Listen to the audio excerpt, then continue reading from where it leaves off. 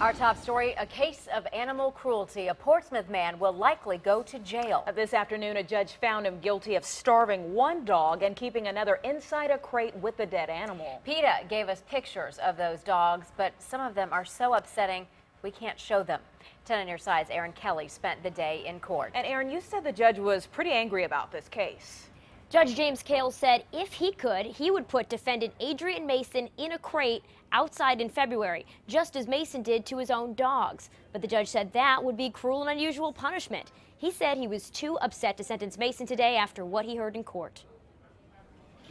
Volunteers with PETA testified in Portsmouth Circuit Court Tuesday about the day they dropped off straw for homes with outside animals. What they found behind one home stopped them in their tracks. We heard the carrier moving and rustling inside of the carrier and a dog barking. And that's when we saw that there was a dog inside of the crate. There were two dogs in that same small crate. One, named Blue, was frantic. The other, Dynasty, was already dead. There wasn't a lot of room and he was stepping on her when he was moving and she wasn't moving or responding to that. On Tuesday, a judge convicted Adrian Mason of animal cruelty, saying Dynasty starved behind his home in February.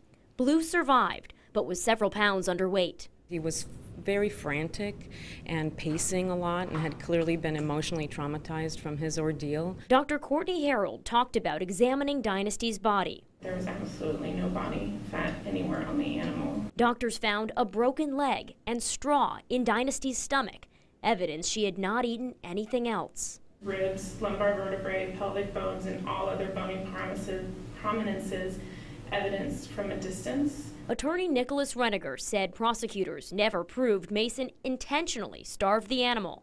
It's like she just stopped eating. Defense witnesses testified Dynasty stopped eating after giving birth to her litter. She ran away and was injured, but they say Mason had food for her. It was always fresh water in the bowl, and the bowl was always filled. But the judge said Mason had no excuse for not getting help when he couldn't afford to take the animal to a vet. This case broke my heart from the very beginning, given that not only was it too late for one of those poor dogs, but that the other dog had to watch and be confined in a small crate. Prosecutors say Mason has a criminal history which includes charges for assault, larceny, and eluding police. The judge said Mason should do some volunteer work with animals and give up any pets he has at home. Sentencing is set for December. He could face a year in jail and or a $2,500 fine. Erin Kelly, 10 on your side.